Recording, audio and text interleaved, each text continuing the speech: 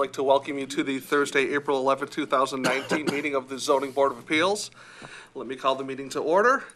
The board does not write the zoning ordinance, but does have the authority to grant relief from it where practical difficulty or unnecessary hardship would result. The board will vote on each agenda item following a public hearing. Use variance requests re- require a minimum of six affirmative votes in order to grant the requested variances. Non-use variance requests require a minimum of five affirmative votes in order to grant, grant the variances. If you would like to request that your, that the board table or adjourn your case due to the absence of a full board, you must inform the chairperson immediately following the public hearing, but that will not be the case this evening as we do have a full board. Petitioners, please do your best to limit your presentations to 10 minutes, and each participant in the public hearing, please do your best to limit your comments to three minutes. With that being said, that moves us along to the approval of the minutes for the March 14th, 2019 meeting. Motion to approve. Second. Other than Mr. Curtis showing up twice, He was worth two times, so I just thought, we counted him twice. See the problem. Counted for Debs. As long as you don't count his vote twice. all right. Votes for five times. All those in favor signify by saying aye. Aye. Those opposed? And Mr. Murphy, we do not have any older unfinished business, I believe? Correct. All right, so that uh, moves us along to our first item of new business, which is item D1, which is case number 190410. Do you want to read this into the record? Do you want me to, since you're down, or? Just jump into the, we can just jump into the report. That's Okay. fine. Go ahead, We sir. don't need to read the intro. Uh, This property is located at the corner of Woodward Avenue and Lincoln Avenue. It has a one-way drive approach off of Woodward that leads to the uh, side street, Hendrie Boulevard. It recently went to the Planning Commission for site plan approval with the contingency that they received necessary variances from the zoning board of appeals. That's why they're here tonight. They received approval to construct a full second-story addition as well as a partial third floor, uh, or small mezzanine addition to create a a partial third floor. The 12-foot one-way, drive aisle off of Woodward Avenue leads to 13 off-street parking spaces, uh, which are angled towards Hendrie Boulevard. The drive aisle also leads to the staging area to gain access to an automated parking structure which contains 21 off-street parking spaces. The automated parking structure has three levels of parking above grade and one parking of, uh, one level of parking below grade. The structure does not have any internal drive aisles or ramps. It's entirely automated. Hopefully, you had the opportunity to look at the manufacturer's website or some of their YouTube videos to have an understanding of how it functions. Uh, is it, a user which wants to gain access would pull up to what's always the one available space to gain access to the structure itself. They would drive into the structure onto a steel platform for their vehicle. They'd exit the vehicle, they'd walk across, across a raised platform for that particular uh, slot in the structure. They would exit the structure and uh, enter a security code, and the code would initiate a series of automated lifts that would place the vehicle into an open space within the structure. So the user does not use, utilize drive aisles or ramps to gain access to spaces. It's entirely automated. And the reverse process obviously is true to gain uh, access to your car when you want to get it and leave. The city's zoning ordinance doesn't have standards specific, specific to automated parking structures. They're uh, a rather rarity, we don't have any specific standards. We do, however, have standards which relate to the minimum size of parking spaces, whether they be surface parking spaces located in a traditional parking structure, or in this case, in an automated parking structure. Uh, The petitioner's, the manufacturer's website references individual platforms that can vary in size to accommodate different width, length, and weight vehicles. I referenced in the report the size, the width and length requirement, or width and length of the different types of platforms that they have, small, medium, large, and extra large. The illustrations that were provided by the petitioner reference a parking width of each of the spaces of eight and a half feet, and that's from the edge of the metal platform from one edge to the other.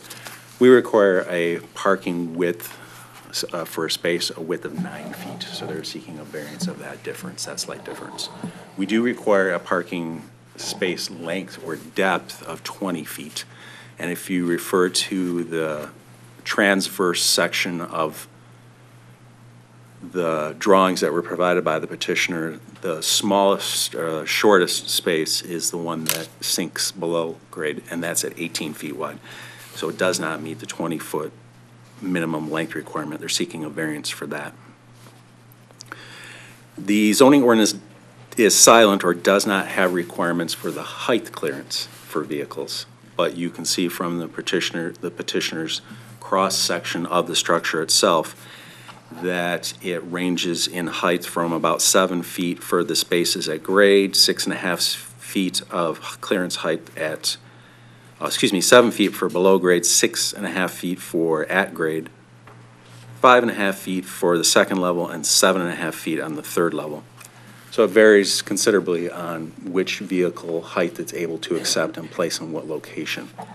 If you take into consideration a mid, standard mid-size sedan is, is about five feet in height or less. A full-size truck is certainly at oftentimes uh, in excess of six feet in height. Zoning ordinance also doesn't have any standards with regard to the weight capacity for individual parking spaces, since we don't have anything relative to automated structures. But it is important to note that the manufacturer's website references that the maximum weight capacity that they're able to accept per individual platform or space is 5,200 pounds. A full-size uh, SUV or pickup truck, pickup truck oftentimes exceeds 6,500 pounds. So it does limit the number of vehicles that are able to gain access to the, to the automated parking spaces. Based on the petitioner's floor plan, they require a total of 44 parking spaces. They're proposing 13 surface spaces, 21, 21 in the structure, the automated structure, so they're still short or deficient by 10 parking spaces. They would need a variance of, uh, of 10 if you recognized the variance request for the size of the parking spaces within the structure, they still need a variance for the total number on top of that.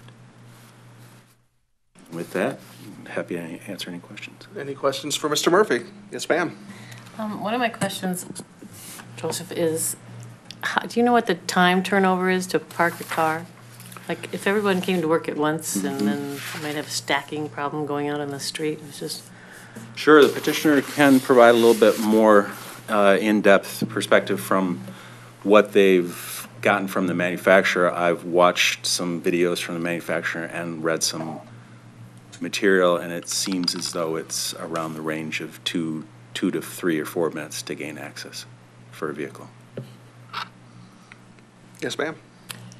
Joseph, is this 44 required spaces net of the seven we granted a couple years ago?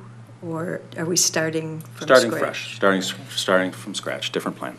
Okay. And the um, size variance for the spaces, it's specifically limited to that parking structure? Yes, correct. Okay. Yes, they were able to accomplish the minimum size requirements for the surface spaces. Any other questions? All right, not seeing any. Are the petitioners present? Yes. Please come forward. How are you? Well, yourself, sir. My name is Luis Antonio Uribe again. I'm the head lead designer for 51 Design, the architecture firm putting in this proposal. Uh, First of all, we want to thank you for giving us the opportunity to present. Um, What, one of the main things that we talked about um, on the previous uh, planning commission was that uh, and discussing it with with Joe um, is that this technology is coming. Uh, I don't know if you know, but the Hudson Tower is using the same technology, the same manufacturer, but for 192 parking spaces. So Detroit would get this. It was already approved. It's part of that project. And uh, and Joe, we talked about this. Is uh, Royal Oak Steel is losing a lot of office space, uh, really cutting edge office space to Detroit. And we want to beat Detroit on, on being the first parking structure in Michigan. Uh, there's already examples around the US of where these same manufacturers, these same uh, parking structures being Uh, it's already in use and has been used for many years. New York and LA are where they are most. And, um, and we actually become uh, first on many things. So it's, it's, it's, the, it's the first parking puzzler. We think that when uh, automatic parking, uh, automatic cars or autonomous vehicles are going to happen, uh, this is what is going to be all over the place. So we are thinking ahead of what is the future and how we can resolve efficiently uh, uh, parking problems. And I know that Royal Oak is facing a lot of those problems. We think also that the building architecturally is beautiful. We really thought about creating an icon on Woodward for Royal Oak. It's beautiful everywhere, but really Royal Oak doesn't have an entrance uh, from Woodward 696 in that place. So we think that this building becomes kind of the grand entrance to Royal Oak and a presence. So all the buildings on that area of Woodward are very low, one stories. So we're thinking that we're creating an, a very beautiful architecture piece to enhance that uh, feature that we have. We believe that uh, that we're respecting, we're doing a very unique design, uh, but also keeping technologies and, and materials that are very warm and they're not crazy modern.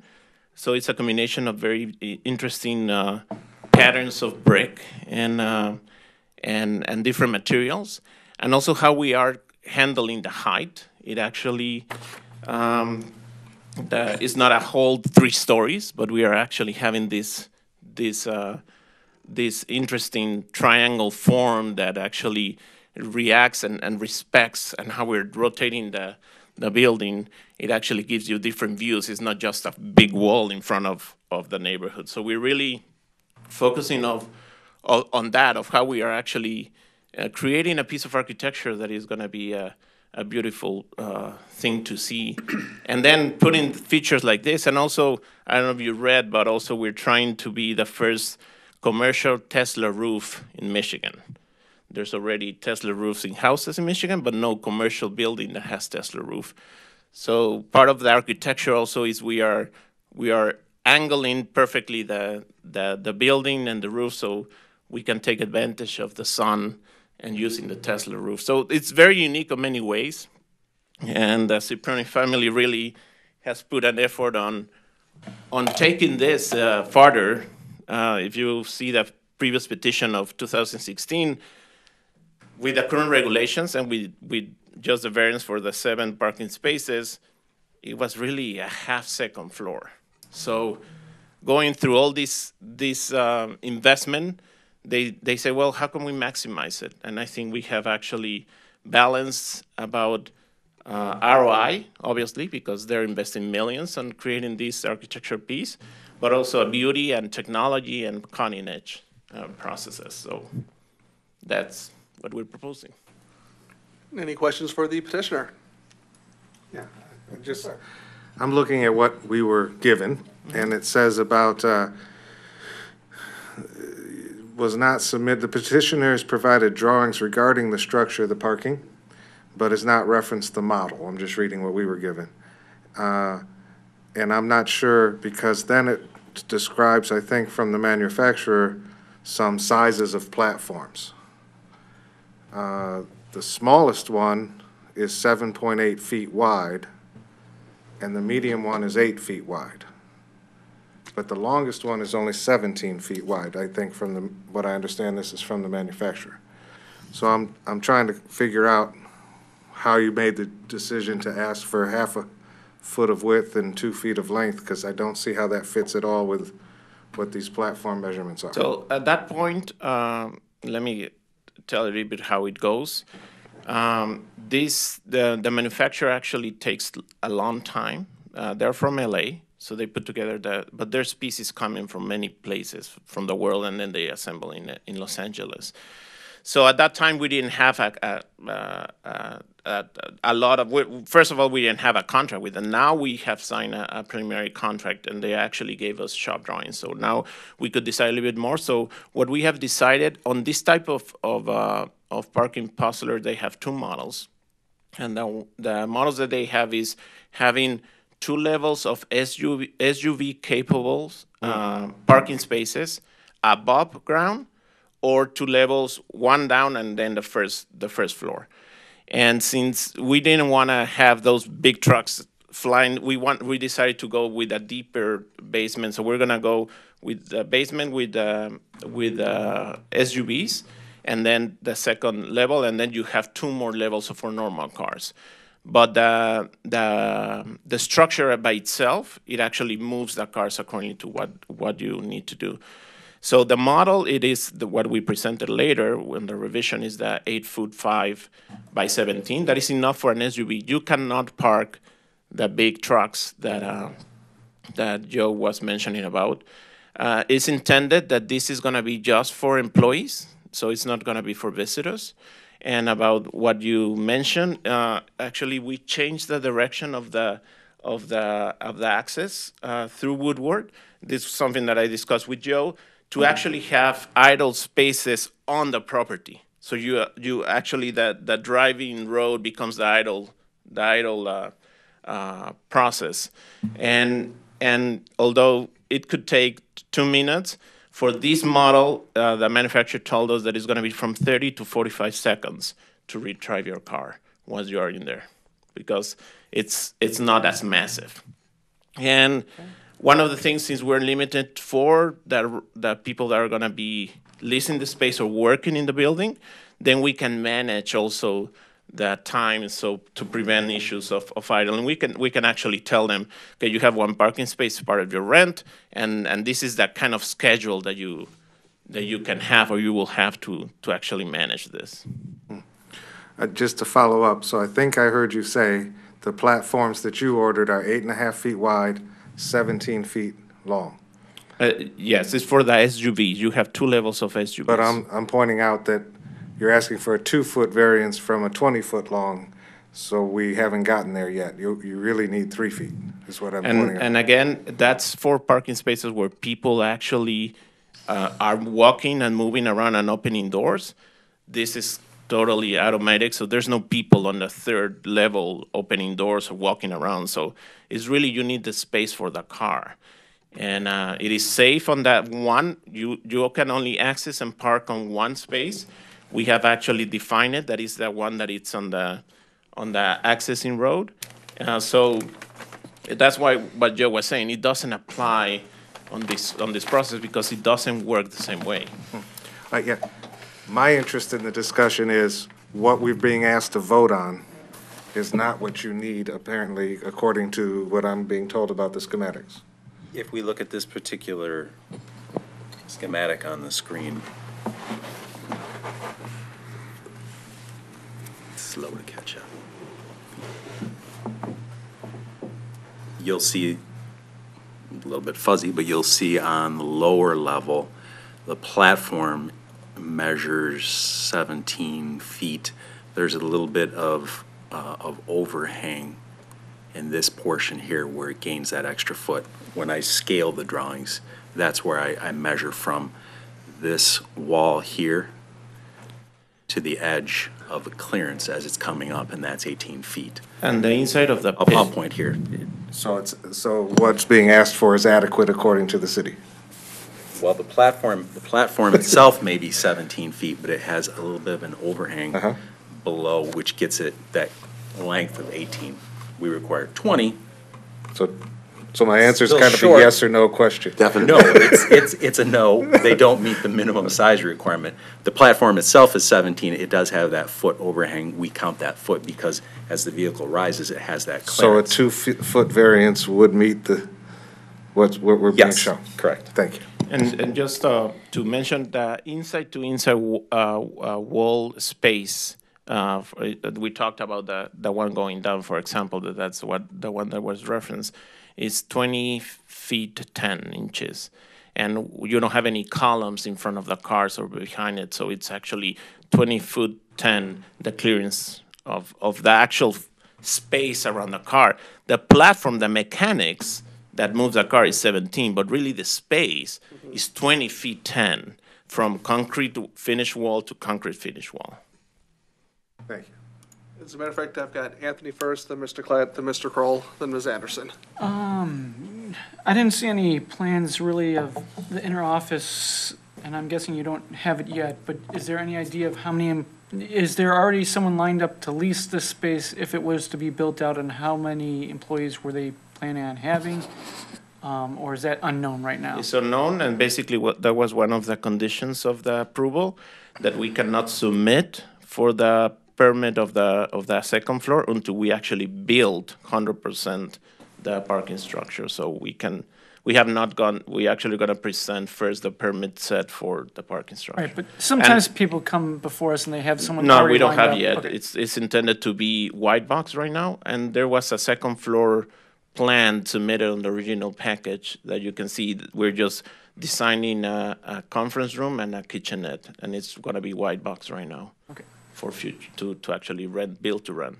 Okay, no. Mr. Clayton? Uh, Can you explain your hardship for the parking shortage?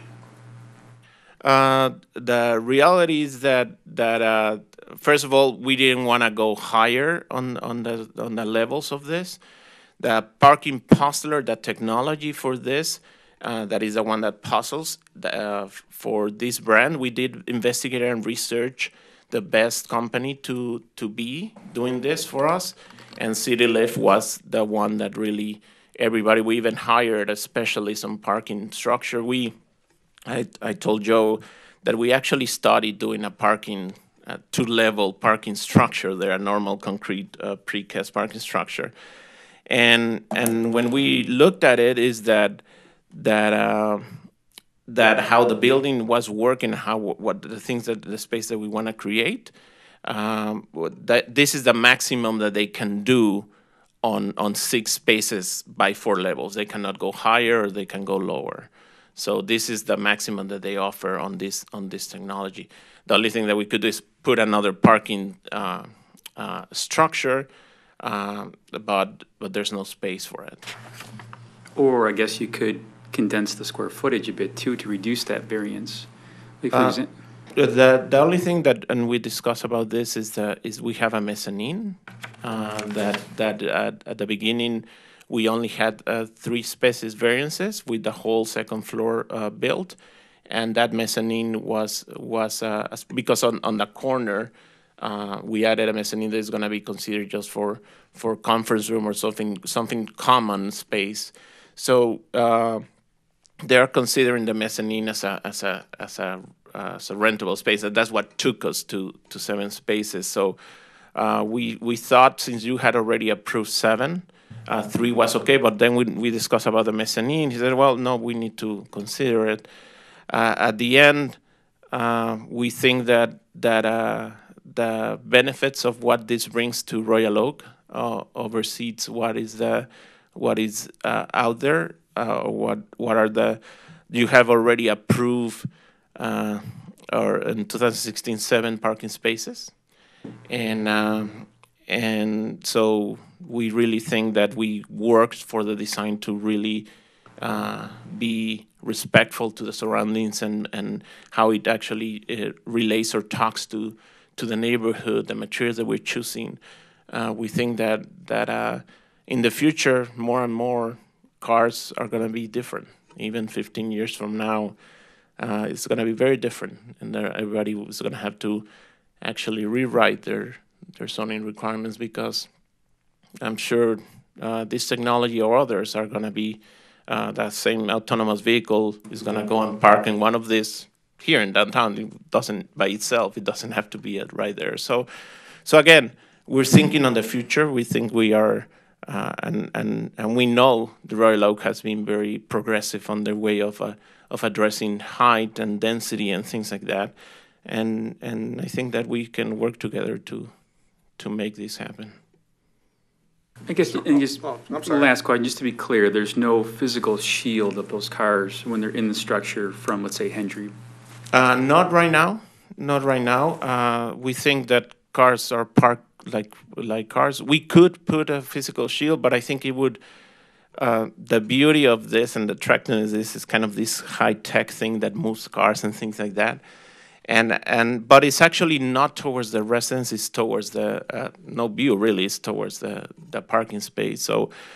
Uh, so I think that um, that that's why we didn't put it right now. I think that the beauty of the mechanics and what this technology is is what what is actually interesting, and it's it's hundred percent uh, safe, and, and and nobody can go into those spaces or anything. So uh, I've talked to Joe. They ask you when you buy these structures to pay in advance for a year of maintenance.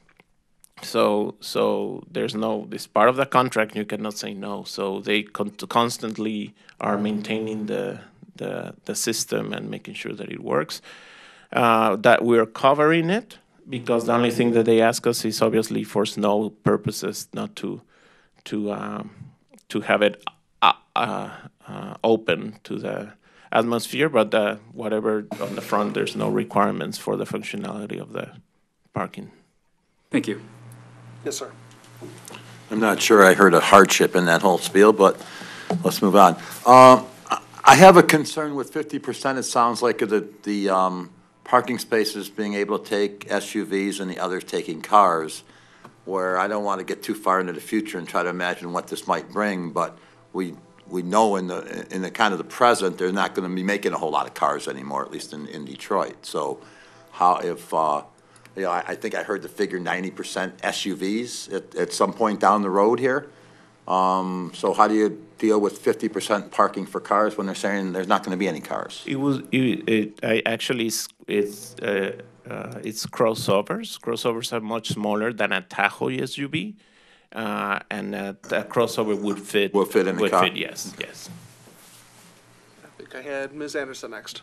So I'm just, this is probably a question for both Joseph and the petitioner, having to do with that, the extra three car spaces, instead of seven, they want 10. Is that because of that mezzanine area? Or is it because of that glassed-in area that's kind of like a open um, entrance? I'm not really sure. I can look think and that's what it see if is. I can't find a spreadsheet that calculated uh, the floor plan to determine whether that it was, we'll say, the mezzanine that pushed them over to require the 10 more spaces or not. I don't know off the top of my head.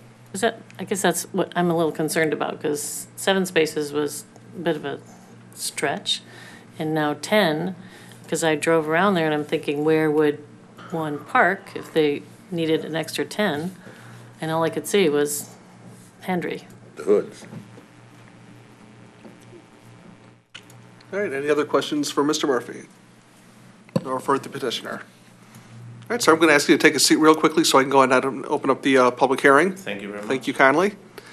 Is there anybody in the audience that would like to address the ZBA on this matter? I think, yes, sir.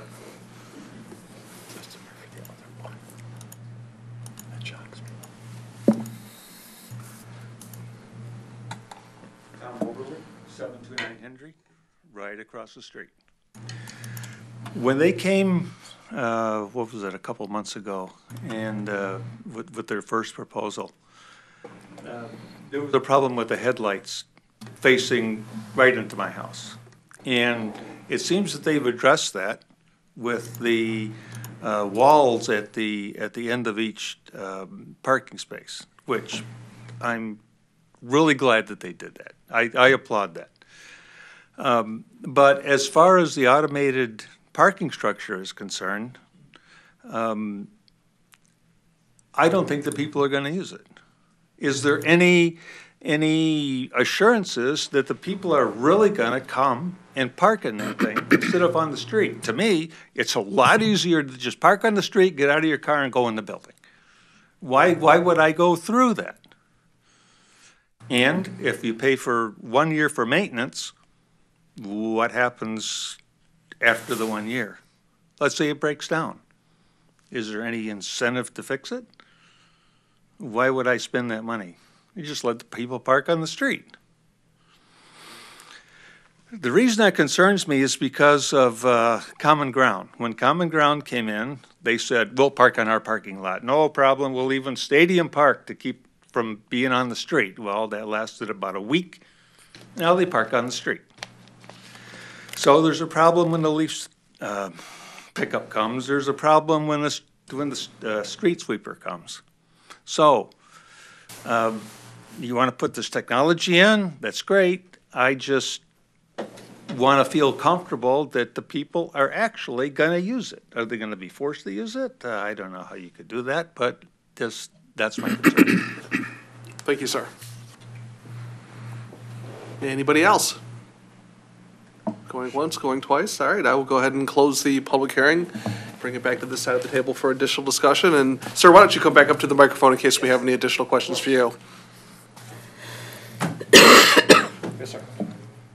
Um, I don't know if I have a motion just yet, I'm just gonna discuss. Um, I think actually the parking is a nice unique solution for the problem that Woodward has, which is not enough parking for a lot of these uh, places. However, and it seems like they've brought this hardship on themselves considering they put all the extra space in there that requires all this extra parking. So I'm having a hard time granting them variance that they walked right into themselves. But I appreciate what they're trying to do of trying to uh, uh, reinvigorate and, and and reutilize this building more so. Um, So I'm sort of torn right now. I definitely have no problem with the first two variances if we pass it with the parking structure, because whatever the parking structure needs, it, it needs. Bigger thing is the number of parking spaces. That's, that's the one I'm, I'm going over with right now. Yeah, I kind of agree with you. When I looked at this, A and B to me were almost like non-issues. These are very common if you go to New York City or what have you. And obviously, the narrower width really doesn't make any difference because you're stacking the cars. They could be six inches apart. You don't need to open the doors. You know, so, but again, it does boil down to, you know, the, the ten, and that's really the only number that gave me any heartache also. And, and I'm sorry, can I, and I understood you to say that's the biggest puzzler that can fit on this site? Yes. A second puzzler can't fit on this site? Uh, If we put it towards Hendrie, yes, but then it it would be, again, we didn't want to, we, we think that design, we were very conscious of Yeah. minimizing that look towards the Right. residential street. Thank you. Yes, sir. I say, I brought up the square footage earlier, but I, I understand what you're doing. And the second floor stacks directly on top of the first floor, so that makes a lot of sense from, from a lot of aspects. So really, the only possible reduction is that mezzanine area. That's the one place that they're deviating from. So I just wanted to point that out. That's, it seems logical the way they're stacking the spaces on top of the building. And I agree too with uh, items A and B, I have no issues with those either, because it seems to make sense. It's an engineered solution, and I assume they thought about the modern car. And and I agree with your point too about there's no people in this, so it doesn't need that extra space for door openings, things like that. So is, would the mezzanine then take up that extra three spaces from the previous seven I space wasn't- variance? I, I wasn't able to find a spreadsheet. I think what we had done was when the petitioner provided us with a paper copy of the drawings, which are probably back at the office. Uh, I didn't bring all the paper copies. We had probably noted on there the square footage of each portion of the floor plan, including the mezzanine. That would allow us to figure out how much square footage is specifically dedicated to the mezzanine. I don't know off the top of my head. Uh, My computer's running slower. If uh, perhaps our resident architects are able to look at the mezzanine, and see that if there's a reference to Oh, square sure. footage on there. Yeah, please do We that. can Yeah. divide that by. Mezzanine Okay. square footage gross is eight twenty-four, uh, based upon their GI zero zero zero. We required one parking space for 225 square feet. So that's, That's that's three three plus. Yeah, Yes.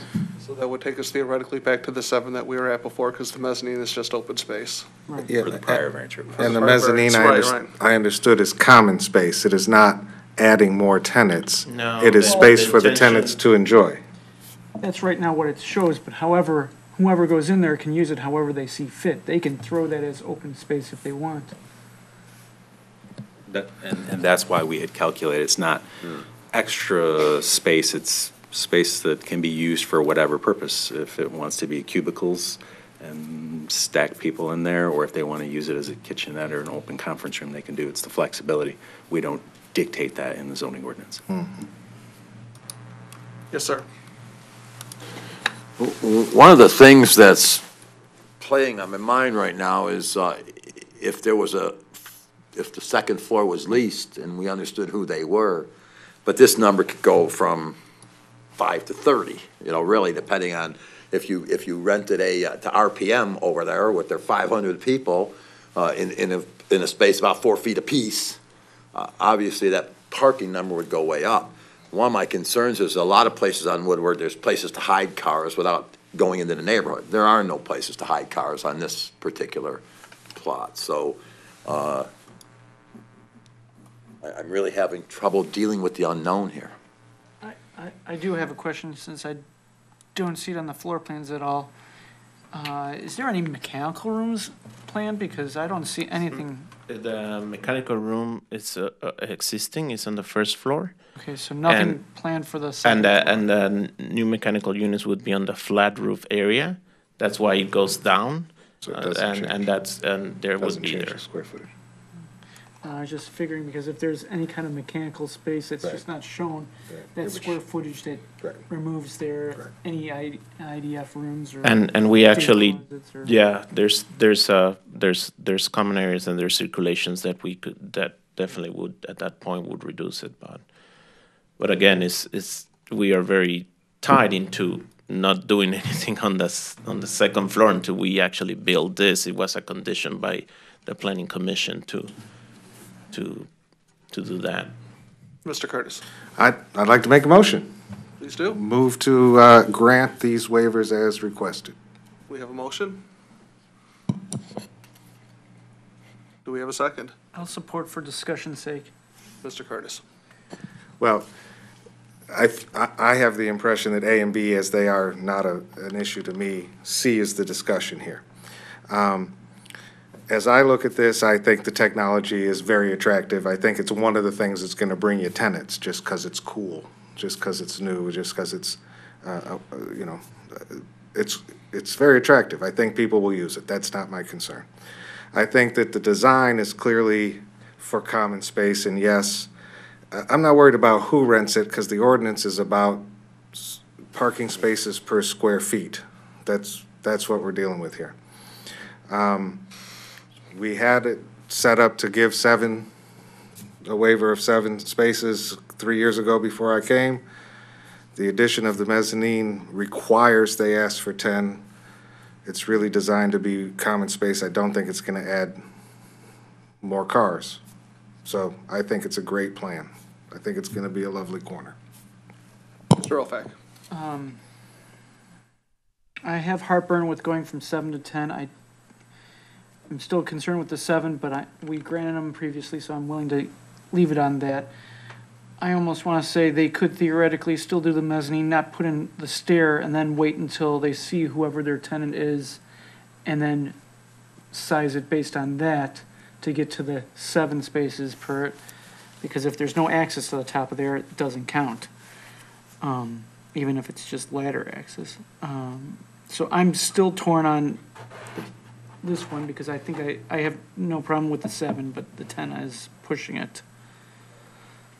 No, this is a design that I think we're seeing more and more when it comes to how office spaces are used, where you have sole practitioners within a professional setting, and then they have one common area, so that if you happen to have a client coming in, you need that common space, or somebody else in the building needs that common space, it's flex space for all the people. I don't see it adding additional people, but creating a space where, as a sole practitioner, if you're gonna meet with two or three people for an hour, you've got that common space, and then when you're done, you go back to your office. Mr. Clatton? You know, I tend to agree. We, I worked in a similar office in Birmingham for ten years, so we had a little mezzanine space, two staircases. It was, a- it was a quiet place to get away to think, to host a small meeting. So I tend, and, and the overall space isn't excessive where you're gonna jam thirty cubicles up there. I would like to point out that you probably could keep your same building look, feel from the exterior without the mezzanine. But now that I look at this in more detail, I really don't have an issue with it, so I, I, I'll be in support as well. I've got Anthony next and Mr. Kroll. The only concern with, I don't think the mezzanine is accessible to all because there is no elevator for it, so it would be any, only able bodies access to it, which that's one thing. Mr. Kroll? I'm certainly struggling with this, um, whereas I think it's kind of cool. I think I tend to agree with the guy that said no one's gonna use that thing. I think I would probably find a s- parking spot on the street as opposed to jumping in that thing, so, um, I, I'm not necessarily not gonna vote for it because of that, but, but I think there's some validity to that. Can I just, uh, on that, on that sense, again, I wanted to repeat, this is intended for the people uh, that are going to be workers or uh, of the offices. So it could be part of the, of the internal regulations of this, of, of you, or you, you're getting, it's on your lease. You need to make your employees, uh, it could be part of those, of those, uh, of those uh, regulations. So visitors are not Catch me if you intended. can. Yes, sir. Uh, I, I'm struggling with this too. I, since we've previously done seven, I, I'm, I'm okay with doing that. I just tend to agree with Anthony. I, I, it just seems, I, it, it's just difficult for me to make the, the extra three leap, especially when they're bringing it, I, I, I see it as bringing it on themselves. I mean, it's, the, the design is what's necessitating it and it's the design that they created. So. That's, it, that's where I'm struggling too. Any other comments? Well, I'll just point out, we're talking about Woodward, and this is, every business on Woodward needs parking vari- variances. And here we are again, and we want Woodward to be a strong place in Royal Oak. with a great architecture piece that is the entrance to this great city. Any other comments? Did I see your hand, Anthony? Can I ask you for one minute? Uh, it's- And you are, sir? I'm Steve Saporn. It's, it's my company, and my wife and I own the building. So Yeah, the sir, employees, on the microphone if you would, so everybody at home can our hear you too. employees actually are, are excited about it because it means they would not have their car in the elements. So during the winter, they wouldn't have to come out and scrape their cars down. So most of them are excited about this. And in terms of who's gonna park there, they're gonna be told to park there. I mean, that's just the way it is. Um, well, the addition is for our company. My wife and I started a company in our fourth bedroom in our colonial house. And over 10 years, we have 28 employees now. And uh, because we're in healthcare, the, um, there's been many changes. There's a lot more paperwork than we ever had to worry about before. And so we're planning to move our accounting staff upstairs and and our legal staff.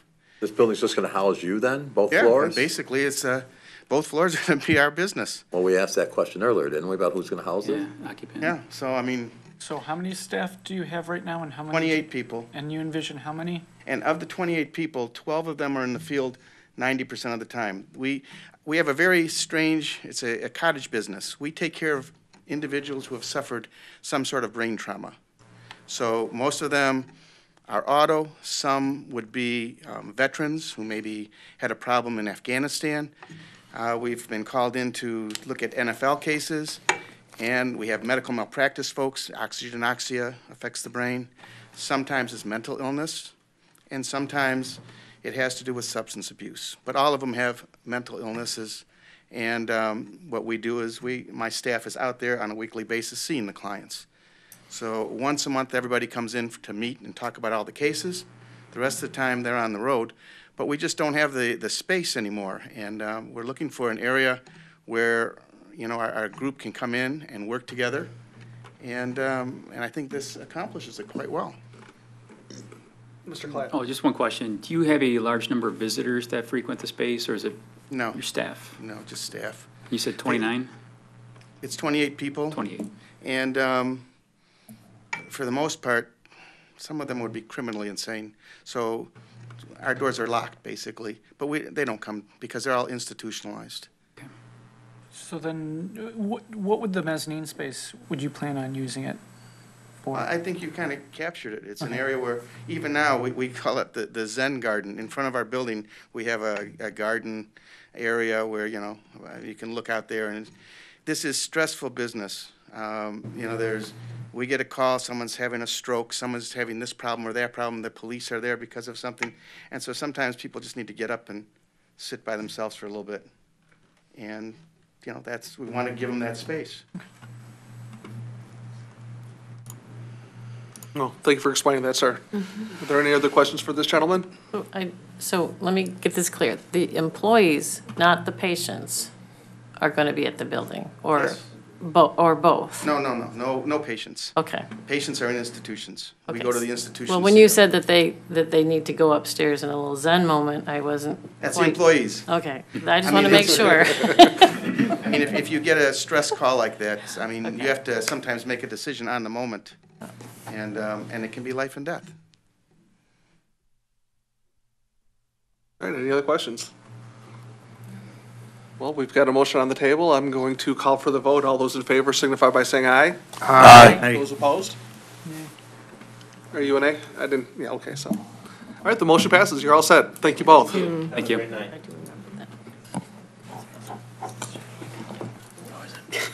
Give a second so you can dig up the second case. Might take a minute.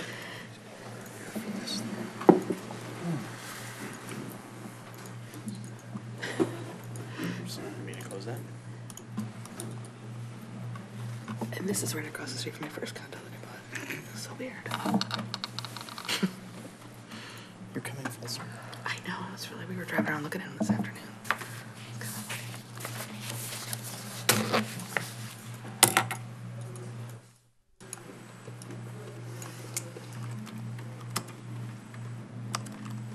Looking out at the audience, it looks like a PTA meeting from 20 minutes, or 20 years ago. I thought I got away from PTA. I was wondering if it's the bride side or the groom side, actually.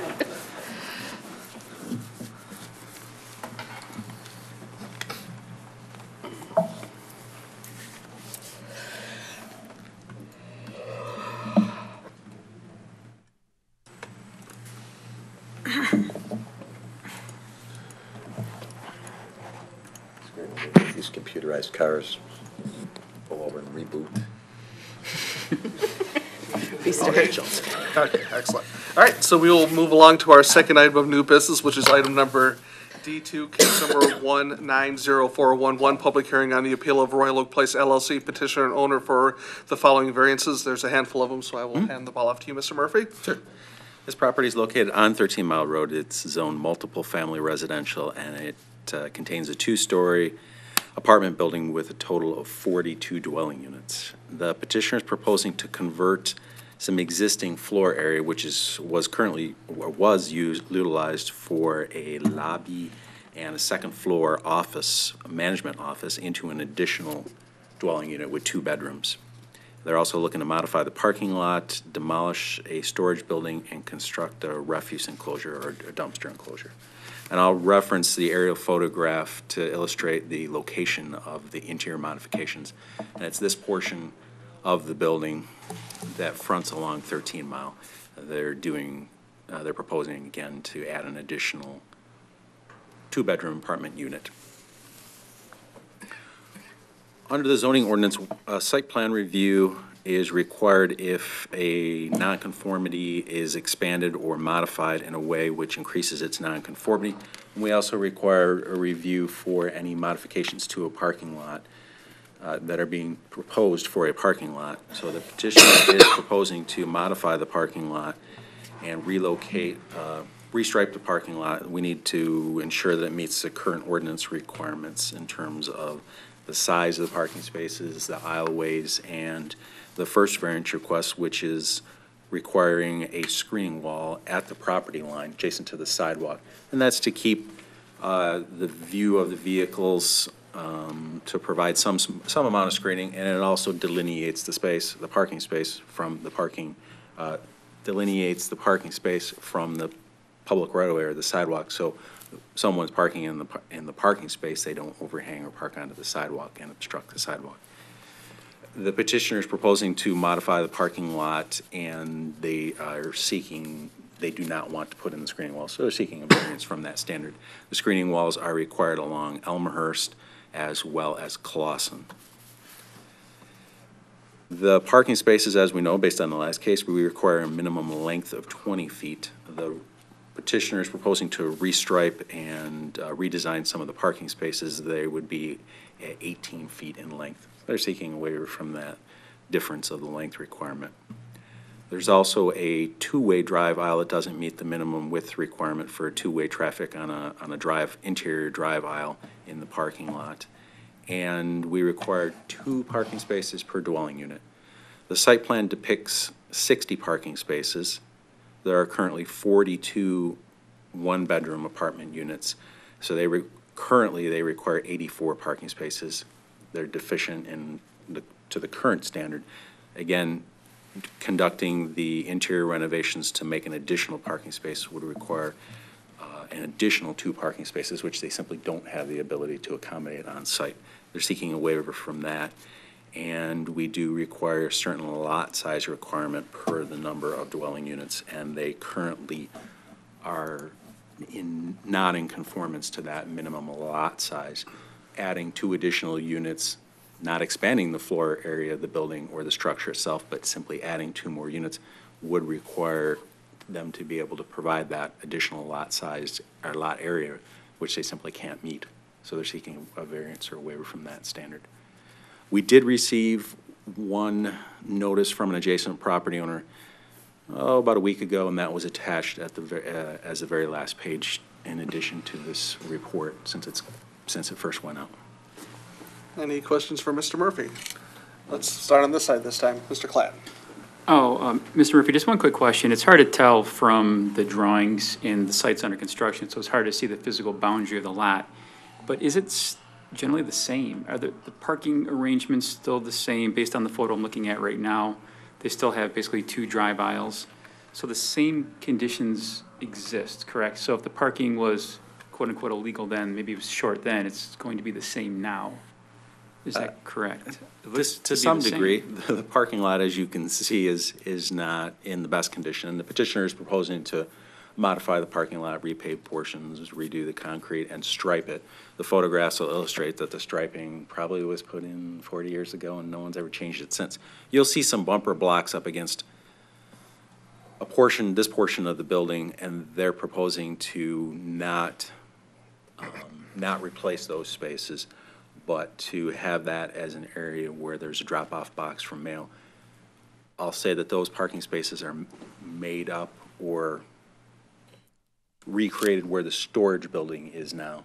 Storage building will be removed and parking spaces will be put in that place. So there's a little bit of a, a swap of removing them here because they don't think they function appropriately and putting them in a location where they would have gain access by removing that structure.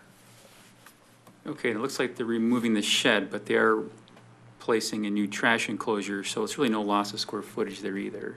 New bike area, trash enclosure. I think they actually gain a f- few parking spaces. The trash enclosure, I believe, is a little bit smaller than the existing storage building. But there was no trash before, so they're making a slight improvement. Correct, yes. And then last question too, is, is it really a trade-off?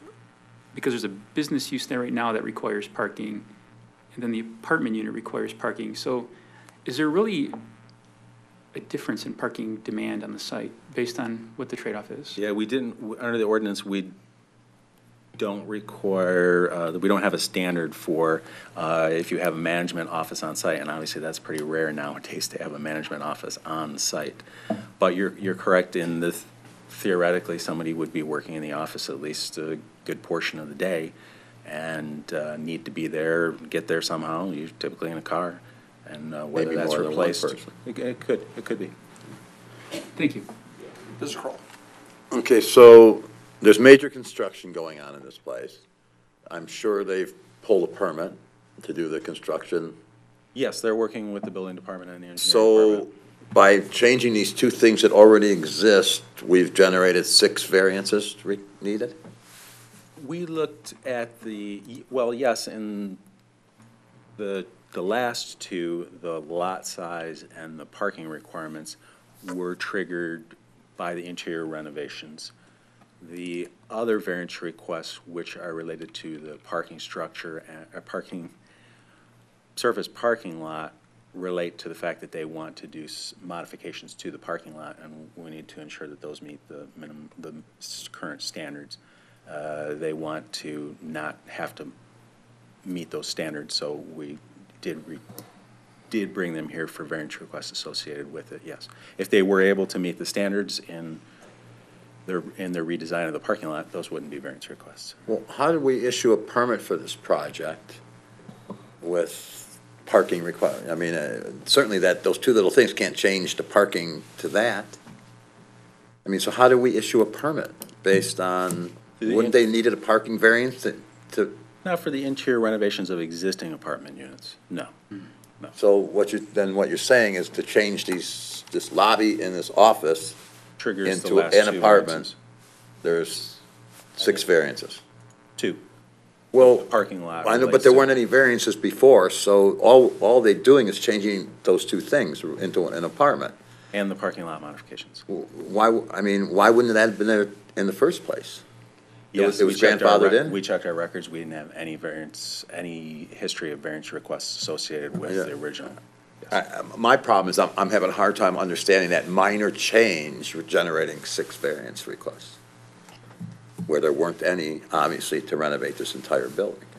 And we may have had a different parking standard back in the day, perhaps like one and a half parking spaces per unit, Well, he's just pulled the permit, hasn't he? For the renovations to the existing dwelling units. for the So he's interior grandfathered in, if he didn't do Sure. anything else? Sure, yes. To do, to do interior renovations to the existing apartment units, correct. And if he wasn't, we'll say touching the parking lot, uh, taking out sections of it, redoing it, restriping it, no, it would exist as it is. So no, There would be, no- there would be no variance request so needed. none of that was talked about when the original permit was pulled for this renovation? Or I- you probably don't know the answer to that. The petitioner can give some history. I do know that code enforcement was, was out at some point to remind him of permits that were needed. Did I see a you. hand on this side? Oh, I thought I did, I'm sorry. I guess one, this might be a tough one too, but are there any known complaints about parking in this subdivision right now with its current existence? Are there any known The issues? letter that was provided by the The one applicant? adjacent, yes, they, they did you. reference, reference that as a concern of theirs. If there is, I think we're going to hear about it anyways. Exactly. Any other questions? All right, is the petitioner present? Thank you, ladies and gentlemen. My name is Bassam Murad. I'm the owner of the complex. Um, thank you for giving us the opportunity. As for this variance, um, currently it's a forty-two unit, one-bedroom apartment. Uh, As Mr. Klatt indicated earlier, there was an office above, and there was like a, it was more like a, a clubhouse, because there was an existing pool on the site. It was taken out years ago before we purchased and acquired it. At that point, um, there, we wanted to take that empty space, unusable space, and convert it to a two-bedroom. It's, the, the, the building's very dated. We wanted to put stucco, we, we submitted plans and some layouts on how we're gonna make the front of the thirteen lime, um, veneer stone, stucco, uh, veneer stone and stucco from the inside. We're not adding to the property size at all, I mean, building itself or property size. We currently have, uh, um, from the design of, of, of the, um, site plan, we have currently sixty car parking. Now, as anyone knows in the apartment industry, for a forty-two one-bedroom, that's actually a very good generous size. You know, you're usually gonna have forty-two tenants, that's at hundred percent occupancy. And you're gonna have eighteen additional in addition, to that. So even assuming that, if we had the other one, the other two-bedroom that we're converting, we're not, we're not adding, we're not, you know, we're just converting the same space and converting it for usage. Instead of two employees there, plus keep in mind, when there was a, um, a clubhouse, there was more visitors. Because as you know, if you have a pool, you have more visitors, you know? We don't have that anymore. It's gonna be a quiet setting. We've converted these properties, uh, we did the one behind Trader Joe's on, um, on Farnham. And we take them, we take the distressed ones, completely gut it out, from electrical to um, new appliances, new cabinets, recessed lights, new mains. Uh, we brought DTE out, Comcast. We took the overhangs on the buildings. There was grapevines on it. We're putting all new windows around the buildings, brand new front doors. The parking lot, as you can see, was not taken care of. Um, what happens is, is the way it was designed before, we have snowplow. We still were able to acquire the same amount of parking spaces and added to it because there was a shed in the middle and there was a garbage can at the end of, um, end of the parking, parking stru- um, parking lot. Well, as you know, we're required to put a garbage enclosure now.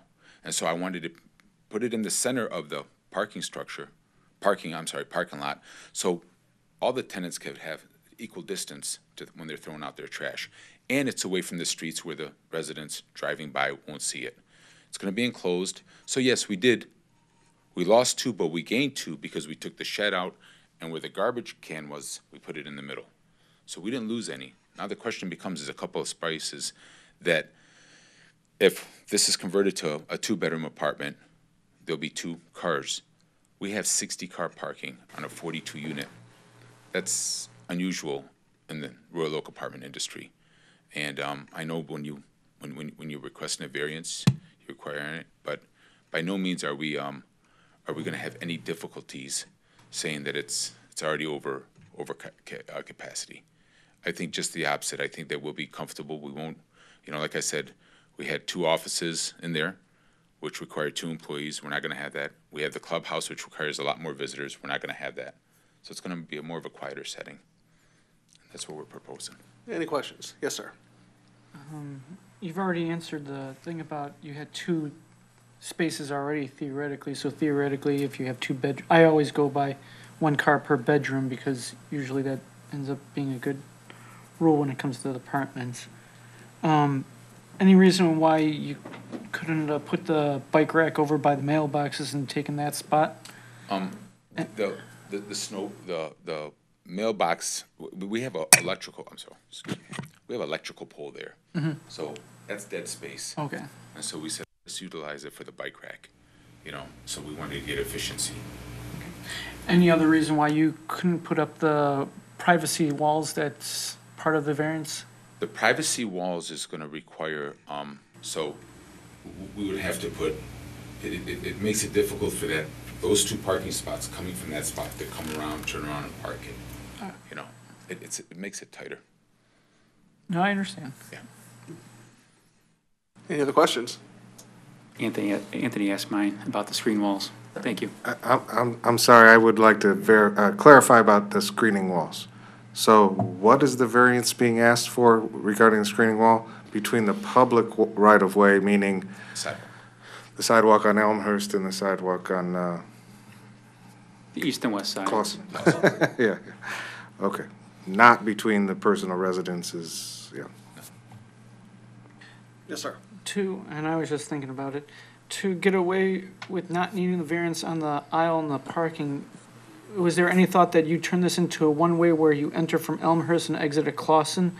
So that you now can minimize the aisle in between a little bit tighter, so you can get the overall, There, there, there's a Yep. couple of reasons. When, when people are parking, the flow, when, when garbage is picked up, when there's deliveries, it's, it's a routine that's just, you create over there. Um, But it, it's, it's either just coming one way from that way or one way from this way, so. well, that's why I was suggesting if, if there's a flow already, why not do it to one-way instead of having a two-way lane there?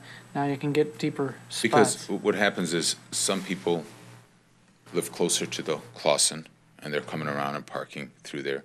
And the only, the only variance, we, actually, um, we have nineteen feet, it's not eighteen feet, um, on the site plan, is, uh, because we brought it, when you have the overlap of the cars.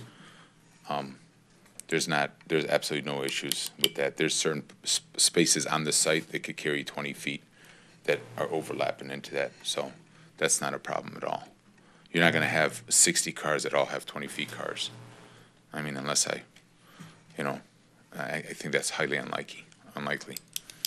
So there's not gonna be any cars sticking out, because you're gonna, where you line the bumpers and overlaps that one foot.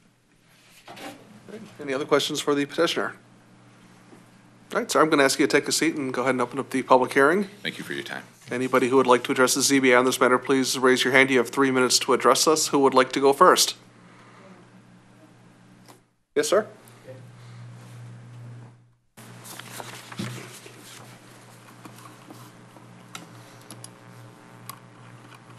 Uh, I'm Tom Mervek. I live at 3204 Clausen, the second house down from the apartments uh, on that side, and, and there's a lot of people from the neighborhood there, and we have a couple of concerns. First of all, just speaking for myself, I think that uh, what the, uh, what the owner is doing is magnificent. Um, it- The, the work has been very hard. The enclosed garbage is something that we've all wanted for many years, ever since we were chasing down rats in our yards quite a few years ago, so it's been poorly taken care of until now. Um, We have an existing problem on Clausen uh, with traffic. It has to do with the volume of traffic, the fact that there's a school at the end, six times a day, there's heavy traffic. It's very difficult to turn left because of, uh, onto the street from 13 Mile because uh, of heavy traffic on 13 Mile. Um, Traffic speeds, uh, I don't think there's been any recent traffic studies. I requested one 23 years ago. I think that's the last one. Um, A young girl was hit on our street, fortunately without injury. Uh, I've been passed on the street doing 25, and recently, about three weeks ago, I had my blinker on to turn left into my driveway, heard screeching brakes, and an embarrassed woman next to me was trying to pass me on my, on my left uh, while I was trying to turn. And uh, so this is something that, that the owner obviously uh, didn't, didn't hope for, uh, but it's a serious problem. Um, Six uh, uh, arrival and dismissal times at the school per day, and sports, uh, soccer, and I think baseball in the early evening hours. Um, For that reason, I- would respectfully say that's another very good reason not to consider traffic exiting onto Clausen Avenue. It's, it's the biggest access street into that whole area. Um, I'm hoping, I don't think anybody can predict the future, but I'm hoping that you seem to be in agreement with 60 spots, parking spots being enough for uh, 43 apartments. I don't think any of us will know how many couples will be there or how many visitors will be coming to single, uh, hardworking people who are paying a- what's going to be a fairly high rent. Um, And so I I would at least request that we have another traffic study, uh, possibly before we approve that parking uh, request, to, to cut the spots down to 60, and that we look at alternatives for keeping it high, just in case, just in case there's a real rat's nest problem on the street. Um, That's all I have to say. Okay. Thank you, sir. And who's next? Yes, sir.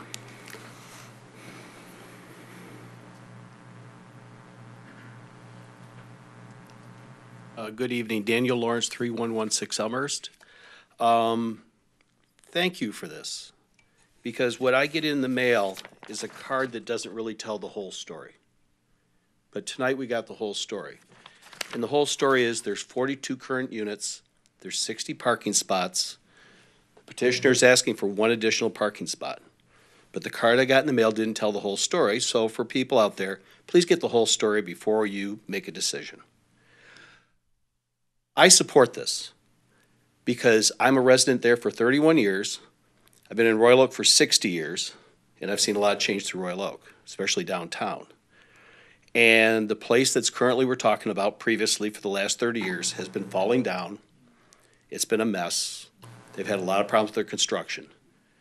What they're doing down there is amazing. I go by, I see refrigerators and appliances. It's a complete rebuild. I agree with the gentleman back there about the traffic flow on Clausen, because Elmhurst is an extremely wider street just because of its access. So I would definitely support the fact of looking and coming that. But I think this would be a complete asset to the city, especially to my area, because we're only talking about one thing. One additional unit. There was probably a variance, back to the point earlier, one and a half per car slots or whatever. It doesn't really matter at that point. But I don't see this, I only see this as a bonus to the city, to our area itself, because he's gonna be upgrading the, uh, place.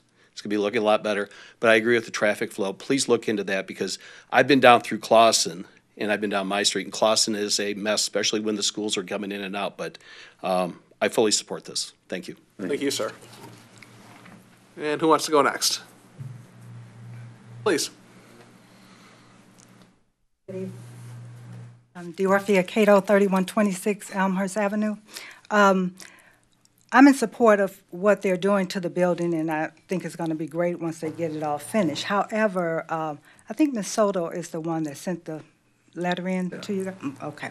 And her concern is um, people parking, if they don't have enough spaces and it's two people parking for the one apartment, where the additional parking spaces is going to come from. And it's my concern too, because I don't want to come home every day and parking is filled up in front of my house, and she has the same concern. I live right across the street. Uh, I see everything that's going on over there. And um, so that's our full concern. And then she was concerned, she asked me to mention, she was concerned about a wall that was there that needed some repair done to it. And uh, she asked me to mention that. I'm glad she sent the letter in to you. Um, So that's my biggest concern. When coming in and out of Elmhurst, um, there's hardly any space coming off of Linwood, and we get people flying around Linwood onto Elmhurst going up to 13 Mile. So the traffic thing does need to be looked into again. Okay, thank you. Thank you. And who's next? Yes, sir. Hi. Hi. I live at 3105 Clausen Avenue. Uh, I've been there since 1959. Kurt, was we have the- your uh, name for the record? I know you. Oh, but it's the Kurt von doesn't. Eberstein. Thank you, sir. Uh, It was the Americana, then the North Point, and this current gentleman is, well, give me a guided tour of one of the single bedrooms. And um, essentially, I'm, I'm all for it. I think it's a, a kind of an eyesore right now. It's been a mess. It's been a rat trap. Uh, It really hasn't had any noise problems or anything like that. It's, I don't think it's been a police issue either. But uh, this improvement that he's described, uh, there are two homes that have been very hard pressed to sell across the street. And currently, there's very little parking on Clausen, on um, the 3225 side, the odd side, and then in his side. I know there would have to be some spaces away from 13 Mile uh, to allow people to turn and have clearance. And El- Elmhurst is the same situation. Elmhurst dead ends at Addams Elementary School. So it certainly isn't a traffic pattern. Um, So the entry-exit idea is, is okay.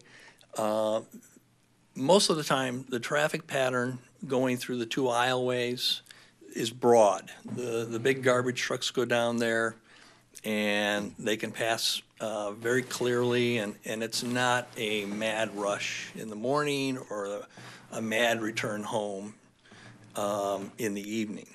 Uh, It's not like New York crazy.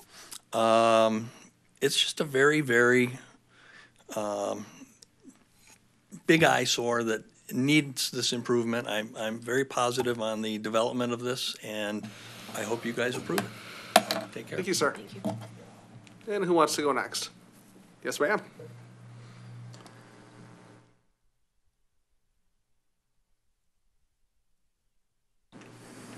Hi, Janet Von Eberstein, 3105 Clausen. If you have not had the opportunity to see the inside of these apartments, you need to. Um, They're absolutely beautiful. Um, About 30 years ago, I had the privilege, or the unfortunate privilege, of being in those apartments a long time ago, and it was downright scary. The parking lot has always been a mess.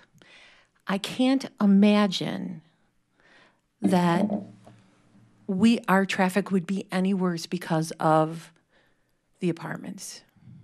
I mean, if you look at Jane Addams is down the street from us. The Clausen end of Jane Addams is the busiest end because that's where K5 get dropped off and picked up. That's where most of the athletics are on that are on that side.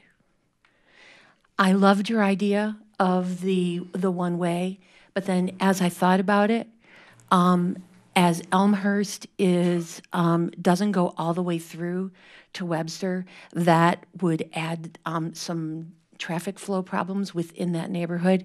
And I really believe. I mean, I've been down the street from this apartment for a really long time. I'm not sure that they're guilty of our traffic issues that we um, may have. I'm a little further down the street, about eight houses off of um, 13, so I don't see the same traffic problem, let's say, that Mr. Mervac sees as he's closer to 13 Mile. Um, but because those folks are going to mostly enter and exit um, and use 13 as their throwaway. But um, anyways, if you get the opportunity to visit the property, you most certainly should. And um, I am totally in favor of what they're asking for. Thanks. Thank you. Could Oh, I ask there's you a questions. question?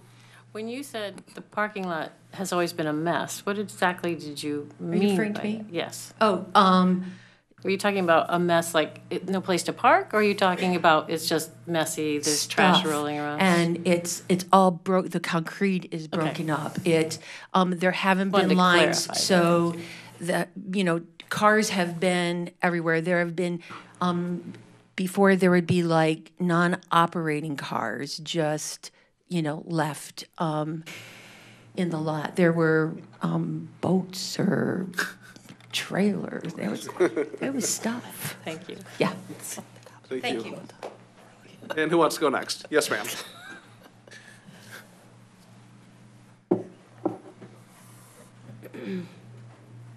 Hi, I'm Cindy Litvinovich. I live um, just a little bit beyond Essex on Elmhurst at 3028 Elmhurst. Um, we have noticed on occasion, well, when before the construction started, there has been some parking issues on um, on that stretch, and there's also another apartment complex on the other side. Um, I don't see a major problem with parking, but I, I, my main concern is screening. Um, I would like to see some kind of screening by the, the sidewalk. You can just go, um, walk right past there. It is ugly, really ugly. I don't know if, uh, if some kind of, um, natural greenery could substitute for, uh, cement wall or something like that. I've, um, my husband Ray and I were on the way here, and we noticed that some apartment buildings had natural greenery uh, right next to the sidewalk, and I don't know if that would suffice, but I think something needs to be- break up the distance between the sidewalk and the parking lot. It, uh, But uh, I do applaud the, the changes. Uh, We've passed by that garbage dump, which was on Elmhurst, and I- I'm glad to not see that anymore. Um, But uh, I am uh, mainly concerned about the screening. I, I think we need some kind of differential there, right, right by the sidewalk. Thank you. Thank you, ma'am. Anybody else? Going once, going twice? And I'm going to go ahead and bring it back to this side of the table for additional discussion. Hang on one second, Mr. Kroll. Oh, sir, would you come back up in case we have additional questions for you? And then the ball is yours. Yes, sir. I'm going to make a motion to approve variance A, B, C, E, and F. We have a motion on the table. So, everything except, Let our- everybody sort of digest that since you pulled D. leave off a letter there, Alan, or? Yeah, D. He skipped D. Does everything except the screen wall. Okay, I'll, s- I'll support. All right, we have a second. Floor is yours. I, um, I I don't know that I, I- I won't go back to that, but I, I think that's an interesting, uh, I think I've heard that a few times. Number one, I gotta tell you folks, I, I'd like to move to your neighborhood. So seldomly do we get a great group of neighbors up here to support a great project. I did have the opportunity to go through one. Um, I, I- I just couldn't even imagine if I lived anywhere near there, how excited I would be about this project. Um, to me, the, there were more people in the offices than converting that one. Um, I, I, I think this gentleman should get a beautification award. Wait till it's done. Mr. Olfak. I see the hardship for his sake that he didn't bring up the fact that they previously had the same number of people basically there, and he's just offsetting it by just switching over from office to bedroom. So I, I don't see him adding anything really into adding one extra unit into there. Um, I think the beautification award might come after the, the wall possibly, so, but that's another discussion. S- But other than that, I have no problem with uh, granting all the ones as part of this uh, variance. Mr. Klein. Uh, Just one question. I know the green screen was brought up along the east and west sides, but based on the site plan, I don't think that's achievable without reducing the parking any, reducing the parking more. I do support the motion that's out there to add those walls. I think that will help to buffer that a bit. But it looks like only one location we could possibly add green, which would be inconsistent. So it would have to be some type of wall. Just to point that out. Any other questions? No more comments? All right, I will go ahead and call for the vote on, on the motion, which includes A, B, C, E, and F. All those in favor signify by saying aye. Aye. Those opposed? That brings us back to item D. Mr. Kroll, would you like to jump back in? Yeah, I, I guess I want some, I want to bring this back to the table and get some comments from my fellow board members. Um, I, I, I was going to ask the two architects, I mean, do we want to trade in a, a couple parking spaces for a screening walls? Well, a thirty-inch high wall is not too high. Um, it's just something to get a rather thin, eh, granted, who knows how strong it is, but you could get a thin four-inch concrete or masonry wall that could easily get even an eight-inch one, but that bites into the parking there. Does that mean they scoot that parking down a little bit closer to those mailboxes? Yeah, and on Clausen? Does that mean you maybe scoot uh, the ones on Elmhurst just a little bit farther in to change that thirty-six seven to maybe thirty-six feet? Yeah, you could do that. Um, With the garbage thing, do you cheat a little bit over and come eight inches? That, it, I, it's all possible. I, it's up to them as to whether or not they really want to do that. I understand that adds cost and they may not want to do that, but uh, I think for safetiness, it, it's definitely safer in my opinion, because as a car pulling in, at least now that wall is going to prevent them from accidentally going into the sidewalk area where they could clip a person whether they're meaning to or not. So for safety's sake, I'm going to vote that one way or another that this variance needs to be met, um, just on the sake of safety. Yeah, I think Mr. Olfak raises a very interesting point from the fact that when I was looking at the configuration of the wall, typically when we talk about a thirty-inch screening wall, that's largely to, to to prevent lighting issues from cars. But obviously, the cars are gonna be parallel north and south and not bleeding into the neighborhoods east and west. So therefore, a different type of barrier to create the safety that you're talking about does not necessarily have to be a solid wall, because we're not talking about a lighting issue. Right. Whose hand did I see next? Ms. Well, Anderson, I was please. wondering about, for, question for Joseph. So we're talking about the screening walls on Clausen and Elmhurst, right? So, you know how Royal Oak will move a sidewalk for a tree? Can they cut into that little edge common area? If they needed some space for that? They could, but I think the petitioner would be capable of obtaining a precast wall that doesn't require a footing. It sits between two steel channels that are, have footings in the ground. And it's just a precast section of wall like this piece of paper, and you slip it between the channels and it just rests on the ground. Doesn't require footing. Like you said, very thin, very easily accomplishable, very cheap. Okay. Could I propose something else? Please? Yeah. As, as you can see, this is a big parking spot, and I'm trying to bring greenery, trying to make it look residential. Like I said, um, we, in fact, in the corridor, because there was a pool before, the sidewalks were much bigger, because it was like a pool. So during the pool, you get chairs to lay out, kids to sit around and everything. So we're gonna have a huge landscape area. If anything, I would request that I'm able to put maybe arborvitae's, wall, where I could, if I have to cut some from the garbage enclosure, an inch from every parking spot, and I was able to gain 10, 12 feet, something, you, I, I don't want to put any more blocks over there, because it just, it looks too industrial. If you want to bring any kind of, you know, some nice mulch and, and, and and arborvitae's that separates it, I would like to see more greenery there if I, if I was allowed. How- How do I adjust my motion to? You can, gr- you could, you could grant the waiver from the thirty-inch masonry high screening wall uh, contingent upon installation of uh, evergreen shrubs. I like that. I'll make that motion. All right. I'm a ventriloquist. Well, we have a motion, we don't even have a second yet, so let's, does Right. somebody want to second it just for, Well, I wanted to question. Sure. Because he was bringing up about the only way to do that is by sneaking a couple inches off the parking spot. If the parking spots right now meet variance, we'd have to somehow put that within the motion, would you not? Not, not the width, just the length, I believe. Yes. it- Oh, okay. Yes, petitioner has indicated that he can I, I could modify grab slightly. an inch from probably, um, forty cars, so I, I gained twenty inches on each side.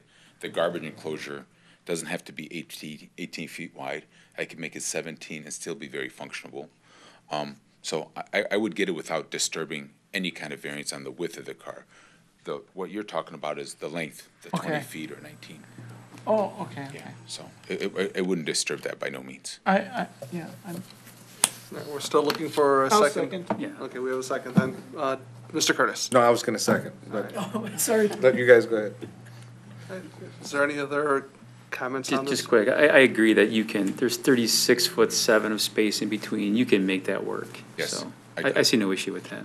And the I- I- greenery, the greenery actually like like we don't when when, when it's asphalted and striped and cleaned up. I, I promise you, I invite you guys all to come in there and take a look at before and after, like I did the one on Farnham behind Trader Joe's. Uh, we spent enormous amount of money on renovation. We take pride in it. Um, we're looking for the millennials, the high-end users. I, I have tenants that are doctors, Botsford, nurses at Beaumont, engineers at GM, people that work for Fox News are renting from in that site. I'm looking, I'm targeting those type of tenants. In order for you to target those type of tenants, I believe if you're a terrible landlord, you usually get those type of tenants that you're gonna have that. I wanna create, you know, a home feeling, the same age group, and that's, that's the areas we're targeting for. So we really go all out when we go to fix these places. And when I tell you go all out, we're spending, I mean, for example, the storages. You know, you go in there and they see fenced storages. I bring mine out of cinder blocks. I bought 5,000, 6,000 uh, cinder blocks downstairs because there used to be all this space over there because there was a pool. We, we, we trucked them down and created out of steel door and cinder blocks. That's my storages. So there's no, there's no half stepping in anything that I, I, I would invest in the city of Royal No, And, and that's kind of why I pulled that off, because I think that, that screening kind of finishes it off. Yes, and we want some greenery. I mean, we love greenery. The parking lot's so massive. I think bringing a cinder block is just, if I could, if I could bring greenery, give the privacy, you know, and. We'd love it. Okay. Can I see some nodding head in the audience? You guys okay? All right. Actually, I've seen what the transformation you did over at Trader Joe's. Yes. That one looks absolutely beautiful. 'cause Thank you. I you. drive by there. You did a great job. Absolutely.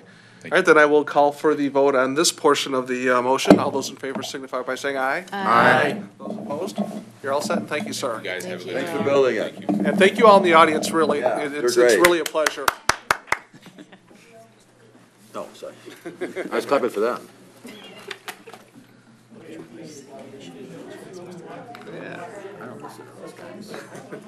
Most supportive crowd I've ever heard of at a zoning meeting. Hey, folks, can I ask you to, if you want to have conversations, please take it out in the hallway so we can finish up. Yeah, I was like, hmm, what's gonna happen here? I know he's got some comments today. Oh, yeah. He did a lot of work this afternoon. He did some really good analyzation.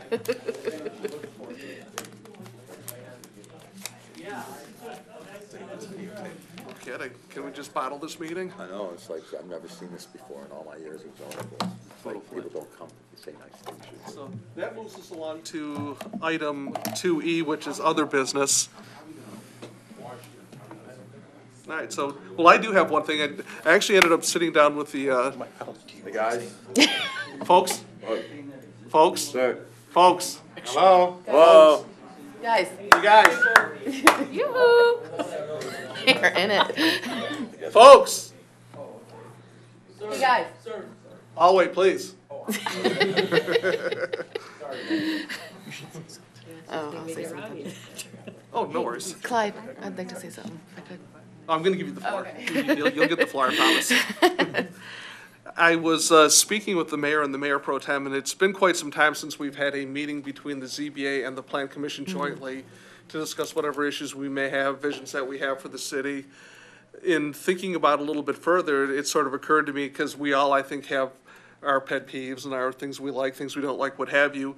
Maybe next month we come back and maybe put together a list of items that perhaps we would like to discuss with the plan commission, and then at that point, we can discuss a joint meeting? Or would you like to set up a joint meeting? Does the group want to have a joint meeting? I'll just throw the ball out there and whoever wants to jump in.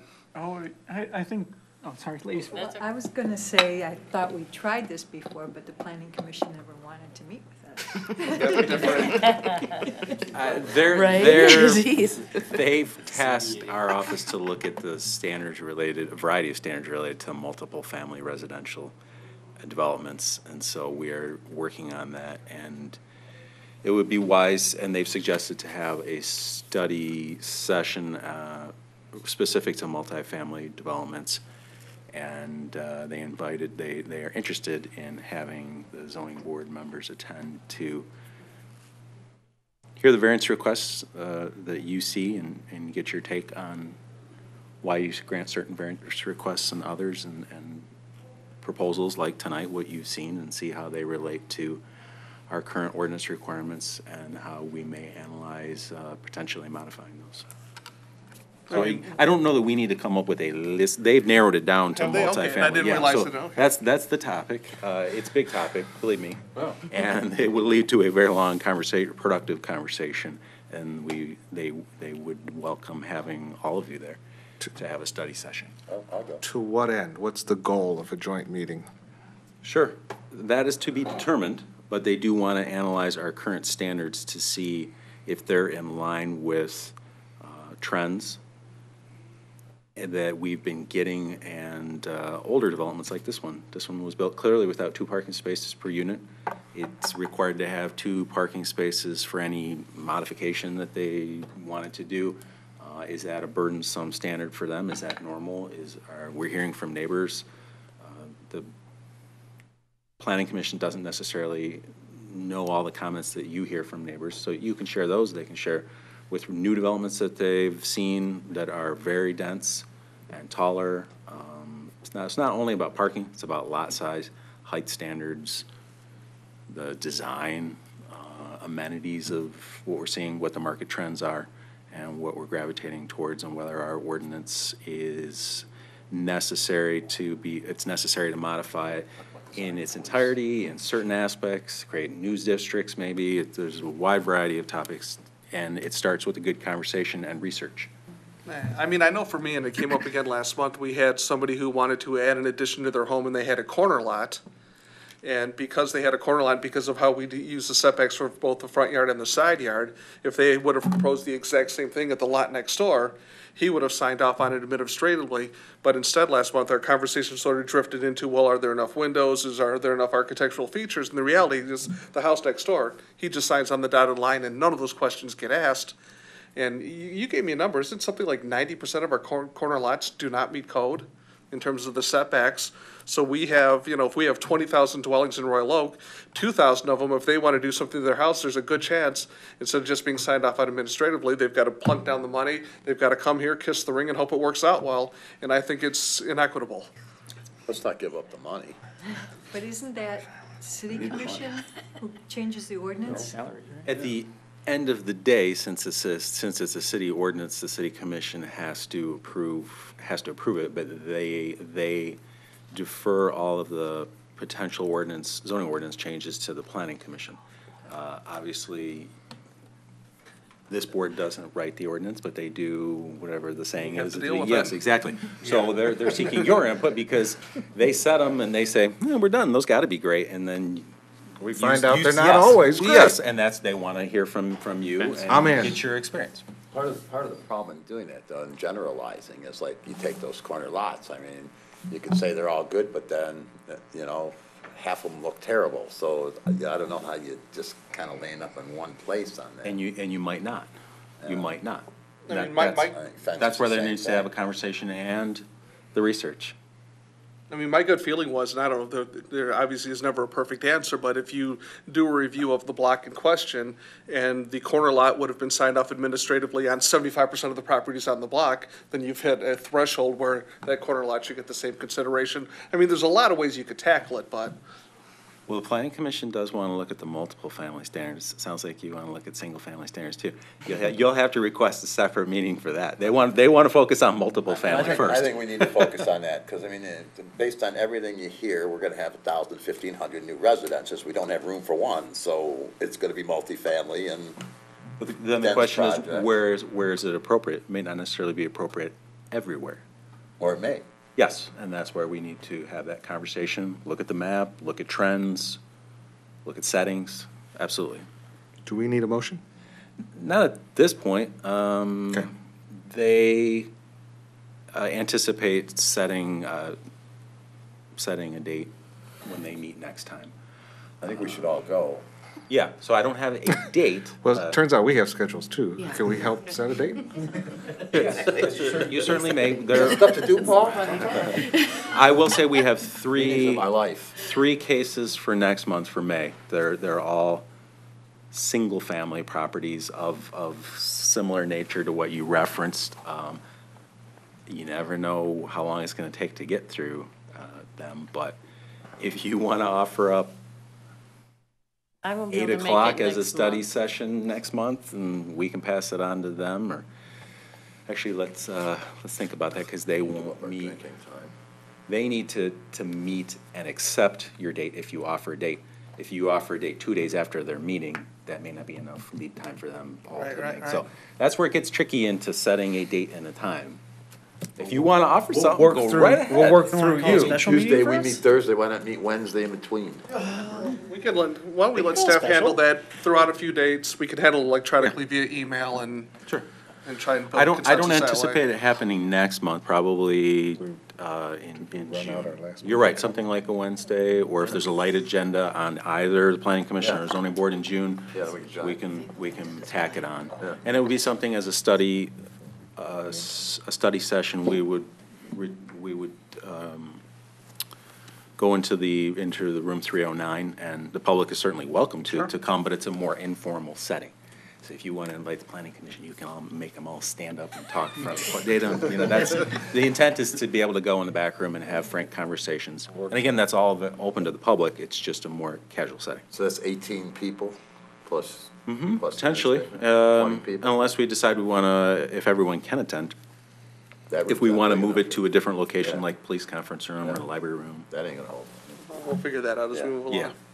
All right, so that sounds like it's well established, so I'm going to give the floor to Amanda Yeah. and let her introduce the mo- mystery motion and I guess it's not a mystery motion. So we're um, moving to Cincinnati, and so it will no longer be part of the board. But um, I've lived here right after college, 20 years, and it's been an amazing experience and just amazing city. So And you served on the DDA. yeah, I was on the DDA as well, and so uh, yeah, just been a great experience and kind of sad to see moving away, but at the same time, it's great to see the new progress of everything. It's just amazing what's happening here. So I appreciate meeting all you guys and It's been great having you. yeah, yeah, hopefully. Sorry to see you. Yeah. Good luck. Ohio, you'll What's that? need Oh. it, yeah. Yes, I know. Well, we're gonna live in Covington, so my husband's working in Cincinnati, but we're gonna move in. No, I love Covington. It's got a little more. Um, This happened. hopefully, nobody in Cincinnati is watching this, but